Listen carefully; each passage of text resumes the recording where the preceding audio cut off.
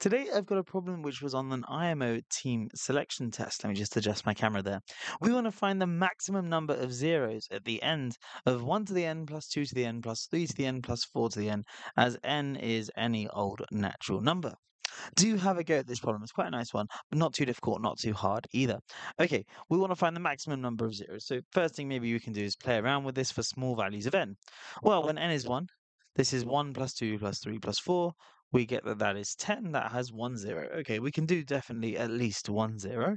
Can we do two? Well, next thing you might do is try n is 2, and you get 1 squared plus 2 squared plus 3 squared plus 4 squared. So 1 plus 4 plus 9 plus 16, that's 30. Okay, you get another one that can end in 1, 0. Great. And it's 3, maybe. We can see what happens there. Well, we're going to get 1 plus 4, not 1 plus 4, sorry, 1 plus 8 plus 27 plus 64. And if you work that out, that turns out to be 100, which is also 10 squared. So if you know the trick there, uh, you know the trick there. Um, but that's 100 that ends into zeros. Uh, so our new contender is 2.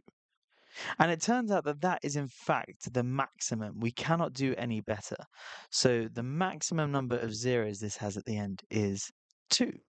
Why is that? Well, what we're going to do is consider this expression mod 8. Um, so for n is at least 4, we're going to ask ourselves what happens to this expression mod 8. So let me just call this expression f of n. So f of n is going to be congruent to, well, 1 to the n is just 1. Now 2 to the n, well, if n is at least 4, this is going to be like, I can write this as maybe, you know, 2 to the power of n is the same thing as 16 times 2 to the power of n minus 4. And since n is at least 4, n minus 4 is going to be a non-negative integer. So 2 to the n minus 4 is going to be some positive integer. So 16 times it is going to be a multiple of 16. So it's going to be 0 mod 8. So I've got 1 plus 0 plus 3 to the n. Now 3 to the n uh, mod 8. Let's think about what that can be. Well, 3 to the 1 is just 3 mod 8.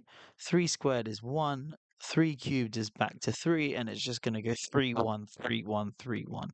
So this thing here is either going to be 3 or 1. We're not really sure yet. One of those two values. And 4 to the n, again, 4 to the n when n is at least 4. 4 to the n is going to be a multiple of 256. Uh, and so that's definitely a multiple of 8. So this is going to be plus 0 mod 8. And the idea here is whether this is 3 or this is 1, this is either going to equal to 2 or 4 mod 8. But that means it cannot end in 3 or more zeros. Because if it did end in three or more zeros, it would be a multiple of a thousand. Ergo, it would be a multiple of eight. But of course, this shows that it's either two or four mod 8 and never zero mod 8 when n is at least four.